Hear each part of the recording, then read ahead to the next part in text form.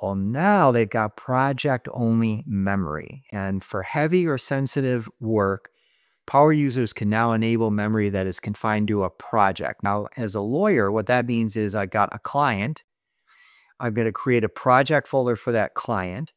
I am going to upload specific documents into the knowledge for that client. I'm going to give it instructions to help me as a lawyer assist that client.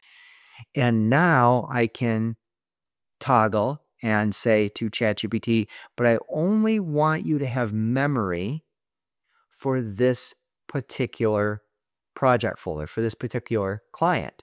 Before, if you said to ChatGPT, hey, I want you to remember this for future, it would remember it and it put it somewhere where it could be applied to all your threats.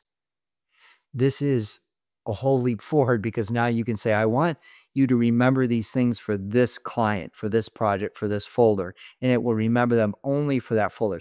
So what happens inside the project won't leak out into other chats.